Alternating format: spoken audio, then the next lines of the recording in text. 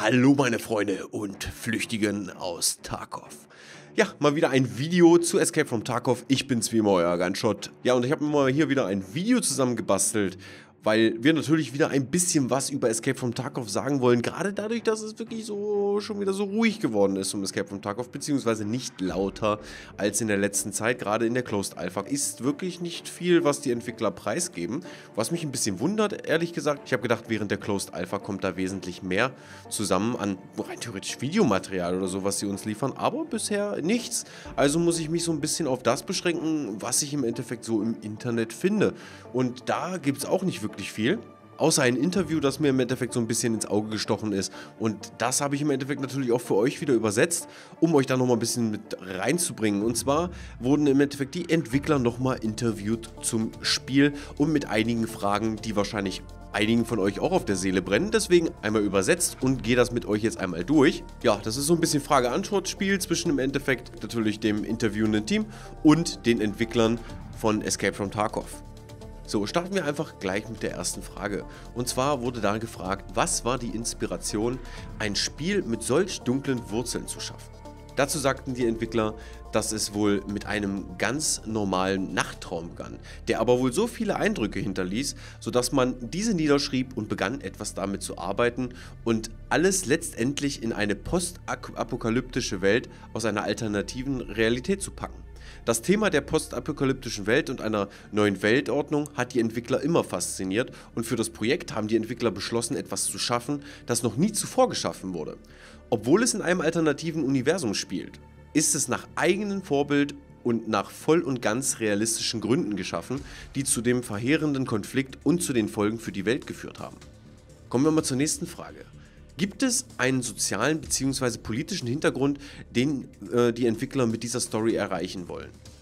Ja, das ist offensichtlich, aber meistens eher soziale als politische. Zunächst behaupten die Entwickler, dass es selbst in den dunkelsten Zeiten immer noch Menschen mit kühlem Kopf, unerschütterlicher Integrität und guten Absichten gibt, die versuchen, die Situation zu stabilisieren und die meisten überlebenden und dennoch zurückgebliebenen Menschen zu retten.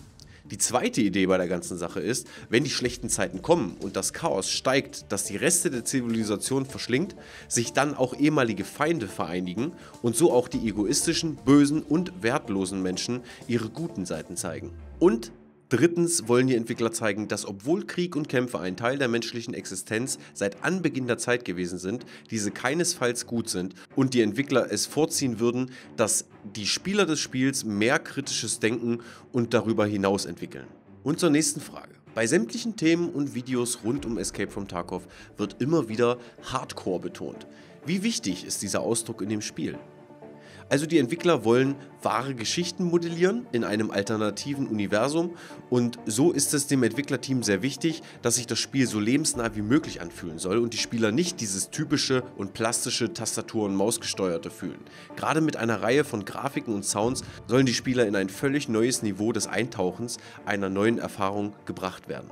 Aus diesem Grund haben die Entwickler das Spiel mit Spaßprinzip verworfen und obwohl es immer noch ein Spiel ist, sollte jeder es mit der Realität vergleichen und raussuchen, was im Spiel aus der realen Welt fehlt. Ja, als nächste Frage wurde einmal das Problem angesprochen, das halt oft mit realistischen Spielen auftritt, ist die Wachsamkeit, die erfordert wird, gerade was Nahrungsaufnahme, Gesundheit etc. angeht. Dies wird oft ein Ärgernis für die Spieler, das das Gameplay behindert. Mit all den gesundheitlichen und physikalischen Eigenschaften, die die Entwickler implementiert haben und das Spiel so beeinflussen, wie haben die Entwickler das integriert, dass die Spieler halt mehr in diese Notwendigkeit eintauchen, anstatt sie dadurch eher zu reizen? Dazu sagen die Entwickler, dass sie von Anfang an gesagt haben, dass das Spiel kein Essen- oder Trinken-Simulator wird. Der Kampf oder die Exploration und die Freilegung von Geschichten dominieren nach wie vor das Gameplay. Allerdings haben die Entwickler diese Dinge nach einem tieferen Sinn des Eintauchens und dessen Auseinandersetzung hinzugefügt. Ja, spielt man als Scuff, gibt es zum Beispiel die Möglichkeit zur Übertragung der Beute an die Hauptfigur. Das hat ein bisschen was von der Diablo-Atmosphäre und doch ist es wirklich einzigartig. Was hat die Entwickler dazu inspiriert? Also es hat sich nach einiger Zeit der Entwicklung bei den Entwicklern halt ergeben. Da die Charakter alle, da die Charaktere alles verlieren, wenn sie sterben, bringt es natürlich eine große Belastung für die Spieler. Natürlich können auch die härtesten eine Pechsträhne haben und sterben ihre Ausrüstung immer und immer wieder verlieren. Der SCAF-Modus bedeutet an dieser Stelle so weniger Stress und die Gelegenheit, das Spiel anders zu erleben, die Frustration wieder loszuwerden, wieder Loot anzusammeln und vielleicht wieder mit Glück in die nächste Herausforderung zu starten. Also kann das Spiel ein bisschen mehr Diablo-like ähm, mit mehreren Nicht-Scuffs sein, die ihr äh, Gear oder Equip teilen. Dazu sagen die Entwickler theoretisch ja, aber es hängt halt total von der Spielweise der Menschen ab. Diese können zunächst als Team spielen oder sich einfach für Raids zusammenschließen. Ob sie den Loot etc. danach teilen, liegt ganz bei den Spielern. Allerdings ist es das Bestreben der Entwickler, die aktuelle Überlebensspieletendenz mit dem schlechtesten nach Dutchback Art von Badassary zu brechen. Natürlich wird es zuerst das Chaos und alle gegen alle geben, aber später im Spiel werden die Situationen die Spieler wohl dazu zwingen, vorzugsweise kooperatives Verhalten zu wählen. Es wird gesagt, dass das Spiel halt auch MMO-Elemente beinhalten wird. Was genau sind denn diese Elemente? Also erstens das reichhaltige System von Quests. Daneben gibt es Handel, Händlerdienste, Chats, Bounty-Listen, verbesserbare Fähigkeiten, Clans, Lobbys, Kommunikation im Spiel und im Menü.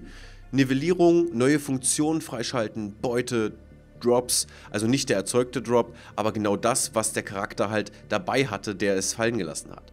Grundsätzlich lassen die Entwickler die Spieler das Spiel zusammenspielen, ihre eigenen Loyalitäten und Gemeinschaften bilden und miteinander interagieren. Es wird kein künstliches, endlos erzeugtes oder vereinfachtes Entertainment geben. Die Entwickler haben einige Ideen für parallele Minigames und Nebenaktivitäten, aber da soll es wohl noch zu früh sein, großartig darüber zu sprechen. Wenn die Hauptfigur stirbt, verliert diese all ihre Beute. Aber es ist halt kein Permadeath. Gibt es eine Chance, die Beute wiederzuerlangen von denen, die einen getötet haben? Also das Spiel bietet mehrere Möglichkeiten, liebe Freunde, um diese Verluste zu mildern. Erstens, wenn der Charakter einen bestimmten Artikel im Augenblick des Todes, also ein Radionotsignal oder eine Fackel hatte, kann er diese automatisch aktivieren. Entweder seine Kameraden auf dem Server per Beschwörung, also in einer sehr begrenzten Anzahl, oder selbst wieder als Scuff versuchen, die verlorenen Gegenstände wiederzuerlangen. Zweitens wird es eine Art Versicherung geben, aber nicht in Form von Bargeld. Diese Methode ist auf Versicherungsbetrug anfällig, sondern in Form von Einzelteilen, wenn sie nicht bereits geplündert wurden. Wenn wir halt den Körper in einigen schwer zugänglichen oder schwer zu entdeckenden Orte bewegt haben oder sie kurz vor Raid-Ende gestorben sind, dann besteht die Chance, die versicherten Einzelteile zurückzubekommen. Ist denn die Wahl wichtig in diesem RPG? Also spielt es eine Rolle, welche Fraktion man sich anschließt?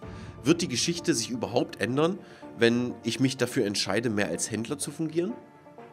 Die Hauptgeschichte ist zugeschnitten für einen bestimmten PMC-Charakter, unabhängig von unserer Tätigkeit. Das Spiel halt trotzdem in vollen Zügen erleben zu können. Doch später in den geplanten DLCs beabsichtigen die Entwickler, die spezifischen Fraktionsgeschichten näher vorzustellen sowie neue Teilnehmer zu implementieren. Wenn wir in der Lage waren zu entkommen, war es das dann? Ist das Spiel vorbei oder wird es ein Part vom Endgame sein? Es gibt immer etwas zu tun, Fähigkeiten zu verbessern, Nebenquests zu erfüllen, geheime Bereiche zu entdecken. Nachdem die Flucht gelungen ist, kann man alles frei erkunden und noch neue Quests finden, zu den geräumten Raids zurückkehren oder ganz zu schweigen von den folgenden DLCs. Dann war immer die Frage, wie schwer es wohl die Schwierigkeit treiben wird, dadurch, dass wir halt ohne HUD spielen. Gibt es im Spiel Karten, die der Spieler nach der Erkundung der Region erlangen kann? Also natürlich haben die Entwickler Karten für jede Region in sehr hoher Auflösung entwickelt, einige bereits zur Aufklärung und Verwendung mit handgezeichneten Markierungen angepasst. Die Spieler können auch ihre eigenen Marker platzieren oder die von Karten anderer Spieler abrufen und kopieren. Was die Entwickler hier erreichen wollen, wie auch in anderen Bereichen des Spiels, ist den Spieler selbst zum Denken zu animieren, mit minimaler Unterstützung aus dem Spiel. Jemand strandet zum Beispiel auf einem Abschnitt und hat keine Ahnung, wo er sich befindet, findet eine Karte und lernt diese zu nutzen. Dieser soll dann dadurch halt einen taktischen Vorteil gegenüber dem haben, der sich mit der Karte nicht auseinandergesetzt hat. Ja, dann kommen wir einmal zu der Frage, die sich immer wieder viele stellen und schon oft vorkam. Und zwar gibt es Pläne, das Spiel auf Konsole zu bringen. Dazu sagen die Entwickler wieder einige sehr, sehr, sehr weit hergeholte Pläne. Allerdings ist es halt immer noch zu früh darüber zu reden. Dann ist einmal die Frage, was war der schwierigste Aspekt bei der Schaffung von Escape from Tarkov? Also die Entwickler kämpfen in diesem Stadium damit, das Visuelle noch mehr zu polieren und das Spiel mit der riesigen Welt auf den Maschinen zum Laufen zu bekommen. Die Entwickler haben auch Probleme bei der Optimierung, Vernetzungsprobleme, die die Entwickler ständig überwinden müssen und Kettenreaktionen von Bugfixing. Das wichtigste Ziel ist es nun, alle Aufgaben der Vernetzung im Zusammenhang abzuschließen. Offensichtlich gibt es alle Arten der aktuellen Fehler, aber keine, die die Entwickler wohl nicht bewältigen könnten. Gleiches gilt auf rein technischer Seite, der Delivery Launcher Downloads Updates, aber davon behindert den, die Entwickler mittlerweile nichts mehr. Und dann einmal die Frage natürlich, was hat am meisten Spaß gemacht? Also es gibt alle Arten von Spaß, aber es ist alles sehr branchenspezifisch. Zum Beispiel sonderbare, lächerliche Fehler, denen die Entwickler begegnen, Insiderwitze und Momente, die durch Alpha-Tests passieren oder mit der Community und diese schrulligen, unerklärlichen Witze, die sich da einfach ergeben. Zum Abschluss wird einmal die Frage gestellt, ob es irgendetwas gibt, das die Entwickler ähm, dem Spieler über Escape from Tarkov unbedingt wissen lassen wollen. Dazu sagen die Entwickler, dass sie das in den vorigen Fragen schon leicht angeschnitten haben, aber in erster Linie haben die die Absicht, aus Escape from Tarkov mehr als nur ein Spiel zu machen, sondern eine Erfahrung, an die man sich erinnert. Und die Entwickler freuen sich, die Gefühle eines jeden Spielers zu sehen, die bereits die Alpha gespielt haben und deren Begeisterung geteilt haben. Die Entwickler möchten, dass alle, die an dem Spiel interessiert sind, das mit anderen Spielen in Vergleich zu setzen und die Stimmung zu spüren. Die Idee, die die Entwickler versuchen zu vermitteln, als ob es das erste Spiel sei, das wir in dieser Art gespielt haben. Und wenn uns halt diese Art und diese Vision gefällt, wir unsere Unterstützung zum Ausdruck bringen, in jeder Form. Die freundlichen Worte der Spieler genauso wie Vorschläge sind den Entwicklern ebenso wichtig wie alles andere. Ja, meine Freunde, das war im Endeffekt das Interview nochmal mit den Entwicklern von Escape from Tarkov. Ich weiß, da ist jetzt bestimmt einiges dabei, was euch vielleicht nicht unbedingt interessiert hat oder was man sich schon aus vorherigen Interviews zusammenreimen konnte, beziehungsweise wo man die Antworten eigentlich schon parat hatte. Das ist allerdings mit das Aktuellste, was ich zu Escape from Tarkov jetzt finden konnte. Ich bin natürlich auch immer dabei, das, äh, den Forum zu durchforsten und da Neues zu finden. Allerdings, wie gesagt, hält es sich da doch alles sehr ruhig zurzeit und ich hoffe, dass in der nächsten Zeit natürlich auch mehr Videomaterial kommt und noch mehr Sachen, über die ich mit euch reden kann. Ich bleibe wie immer natürlich am Ball und lasse euch es wissen, sobald dies der Fall ist. Ja, an dieser Stelle, meine Freunde, wäre ich auch wieder durch mit dem ganzen Thema. Wenn euch das Video gefallen hat, Daumen nach oben, ihr kennt das.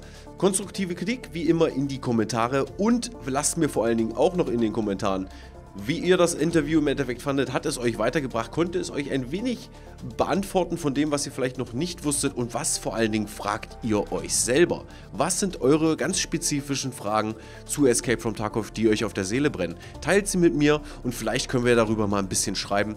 Ich wäre auf jeden Fall gespannt, was ihr da so im Köpfchen habt. Ja, meine Freunde, wie gesagt, an dieser Stelle bin ich raus. Ich wünsche euch noch eine schöne, angenehme Restwoche.